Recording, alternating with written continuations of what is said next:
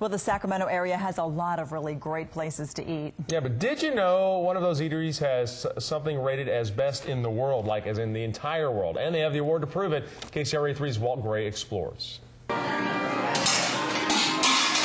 La Bonne Soupe is the passion of Daniel Pont, the eatery's only employee. Every day there's a long line for his soup, the hand carved sandwiches, and his signature tasty desserts. The condiments he uses are excellent. The quality of the um, ingredients are excellent. It's just really, really good. Chef Daniel came to the U.S. back in the 60s and four years ago opened his shop in Sacramento to be closer to the grandkids.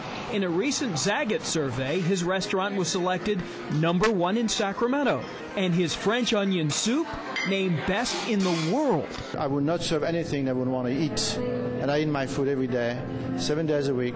I never gain any one ounce of weight. Oh, it's delicious. The food's excellent. I just ordered the French onion, so I'm looking forward to trying that. 12 and number 10. The pots and pans are characters of age, part of the ambiance that bubbles over with the smell of his native Lyon.